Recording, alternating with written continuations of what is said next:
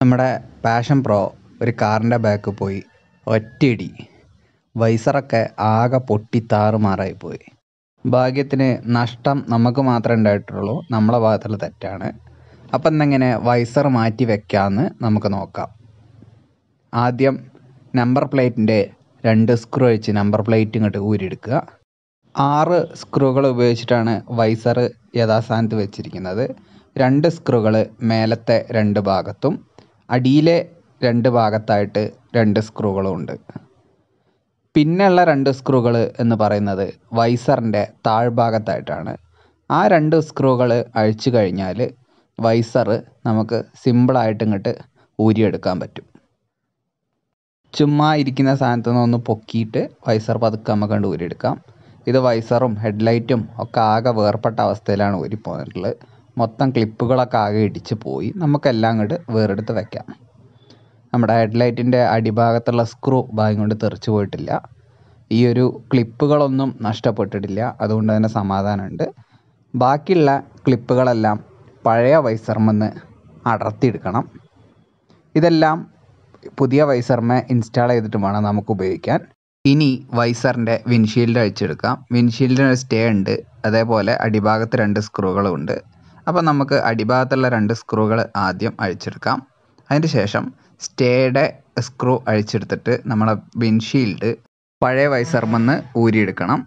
Windshield പൊട്ടാത്തതുകൊണ്ട് നമുക്ക് പഴയ തന്നെ ഉപയോഗിക്കാം. അതേപോലെ തന്നെ വിൻഷീൽഡിന്റെ ഈ കാണുന്ന സ്റ്റേ ഇതെല്ലാം പഴയ വൈസർമ എന്നുള്ള ഭാഗമാണ് നമ്മൾ പുതിയ വൈസർമ ഇൻസ്റ്റാൾ ചെയ്ത് ഉപയോഗിക്കുന്നത്. ഇതെല്ലാം അത്ര വിപണിയിൽ പെട്ടെന്ന് കിട്ടാത്ത പാർട്സാണ് അപ്പോൾ പൊട്ടി പോയിട്ടുണ്ടെങ്കിൽ ഒന്നെങ്കിൽ ഏതെങ്കിലും പൊളി മാർക്കറ്റിൽ നിന്ന് എടുക്കുക. അല്ലെങ്കിൽ പഴയ വൈസറിന്റെ തന്നെ എടുക്കുക. നമ്മുടെ വിൻഷീൽഡ് പോന്നു കഴിഞ്ഞു. അത് പതുക്കെ നമുക്ക് പഴയ വൈസർമെന്നുണ്ട് എടുക്കാം. ഇതാണ് പഴയ വൈസറിന്റെ സ്ക്രൂകൾ ചിലതെല്ലാം തുരുമ്പ് പിടിച്ചിട്ടുള്ളതുകൊണ്ട് എല്ലാം നമ്മൾ നന്നായിട്ട് ഒന്ന് ഗ്രീസ് ചെയ്ത് തുടച്ച് വയ്ക്കുക അതാകുമ്പോൾ പിന്നെ തുരുമ്പ് പിടിക്കാനുള്ള ചാൻസുകൾ കുറയും. രണ്ടായിരത്തി പതിനഞ്ചിൽ തന്നെ ഞാൻ വൈസർ വാങ്ങി വെച്ചിരുന്നു. അന്നത്തെ വില ആയിരത്തി പത്ത് രൂപയാണ്. ഹെഡ്ലൈറ്റ് അസംബ്ലിക്ക് അഞ്ഞൂറ്റി എഴുപത്തെട്ട് രൂപയും. എന്തായാലും പുതിയ വൈസർ നമുക്ക് പുറത്തെടുക്കാം. ഫ്രഷ് പീസാണ് ഞാൻ വാങ്ങി സ്റ്റോക്ക് ചെയ്തതായിരുന്നു. ആദ്യമേ ചെറിയൊരു ഇടി കിട്ടിയതുകൊണ്ട് അന്നേ വാങ്ങി വെച്ചിരുന്നു. ഇപ്പോഴാണ് മാറ്റാൻ പറ്റുന്ന രീതിയിലുള്ള ഒരു ഇടി വന്നത്. അന്ന് ഒരു ബൈക്കുകാരൻ ഇങ്ങോട്ട് വന്ന് ഇടിച്ചായിരുന്നു. അന്ന് അഡ്ജസ്റ്റ് ചെയ്ത് ഫിറ്റ് ചെയ്തു. ഇന്ന് നമ്മൾ കാറിന് പോയി അങ്ങോട്ട് പോയി ഇടിച്ചതാണ്. എന്തായാലും പഴയ വൈസർമെന്നെടുത്ത ക്ലിപ്പുകൾ ഓരോന്നും അതിന്റെ യഥാസ്ഥാനത്ത് പിടിപ്പിക്കുന്ന പരിപാടിയാണ്. ഇടത്തെ സൈഡിലും അതേപോലെ വലത്തെ സൈഡിലുള്ള എല്ലാ ക്ലിപ്പുകളും കൃത്യമായിട്ട് ആ വൈസറിന്റെ ലൊക്കേഷനിലേക്ക് വെച്ച് കൊടുക്കുക. അതും വലിയ ബുദ്ധിമുട്ടുള്ള പരിപാടിയൊന്നുമല്ല. ഒരു വൈസറിന്റെ ക്ലിപ്പ് കണ്ടു കഴിഞ്ഞാൽ അത് കറക്റ്റായിട്ട് അതിന്റെ ലൊക്കേഷനിലേക്ക് കറക്റ്റ് സീറ്റിംഗ് ആവുന്ന രീതിയിലാണ്. ഇനി നമുക്ക് വൈസറിന്റെ സ്റ്റേ സ്ക്രൂ ചെയ്ത് പിടിപ്പിക്കാം. ഇടത്തെ സൈഡിലും വലത്തെ സൈഡിലുമായിട്ട് ഓരോ സ്റ്റേകളാണുള്ളത്.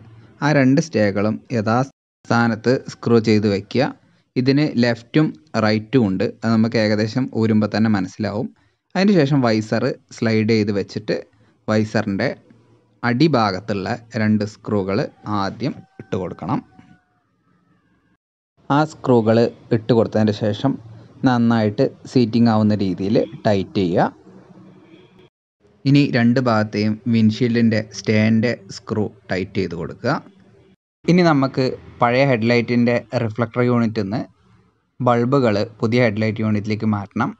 അതിന് നമുക്ക് ബൾബിന്റെ ആ ഒരു സ്റ്റേയുടെ സ്ക്രൂ അഴിച്ചിട്ട് ബൾബ് പുറത്തേക്ക് എടുക്കാം. പുതിയ റിഫ്ലക്ടർ യൂണിറ്റിന്റെ ഉള്ളിലേക്ക് ബൾബ് വെച്ച് ക്ലിപ്പ് യഥാസ്ഥാനത്തേക്ക് പിടിപ്പിക്കുക. ബൾബ് അവിടെ സീറ്റിംഗ് ആയിട്ടിരിക്കും. ഇനി ബാക്കിലുള്ള ഡസ്റ്റ് ക്യാപ്പ് അതിന്റെ യഥാസ്ഥാനത്ത് അമർത്തി നല്ല സീറ്റിംഗ് ആവുന്ന രീതിയിൽ പ്ലേസ് ചെയ്യുക.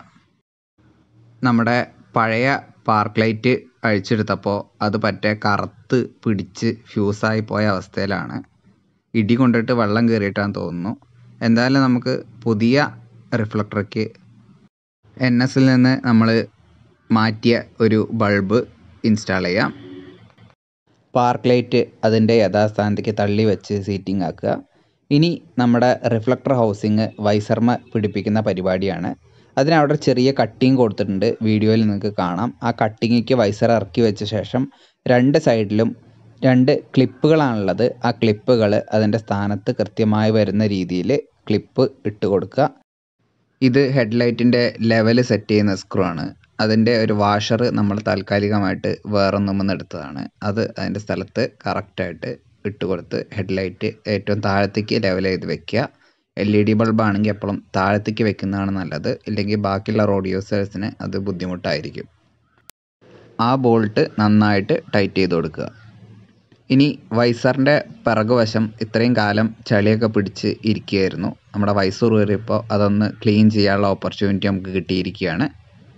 ഷാംപൂ ലിക്വിഡ് അടിച്ച ശേഷം ഒരു വൃത്തിയുള്ള തുണി ഉപയോഗിച്ചിട്ട് പൊടിയും ചളിയൊക്കെ നമുക്കങ്ങ് തുടച്ചെടുക്കാം.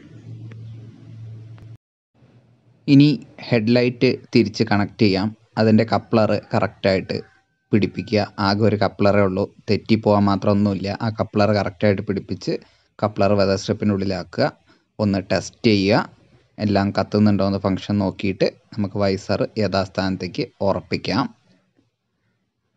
വൈസറിന്റെ ഈ രണ്ട് സൈഡ് ഭാഗമാണ് കറക്റ്റായിട്ട് ചേർന്ന് നിൽക്കേണ്ടത്. അപ്പോഴാണ് വൈസർ കറക്റ്റായിട്ട് ഇരുന്നു എന്ന് നമുക്ക് മനസ്സിലാവുക.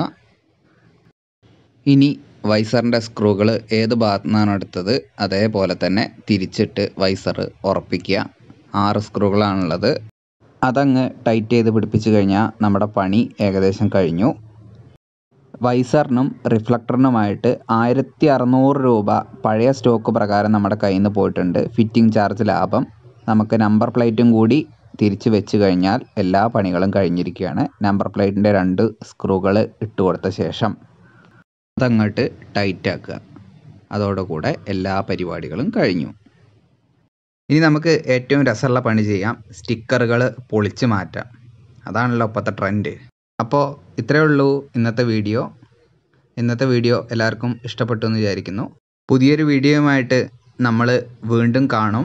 അങ്ങനെ കാണാതിരിക്കാൻ പറ്റുമെന്നില്ലല്ലോ കുറച്ച് വൈകിയാലും കണ്ടിരിക്കും.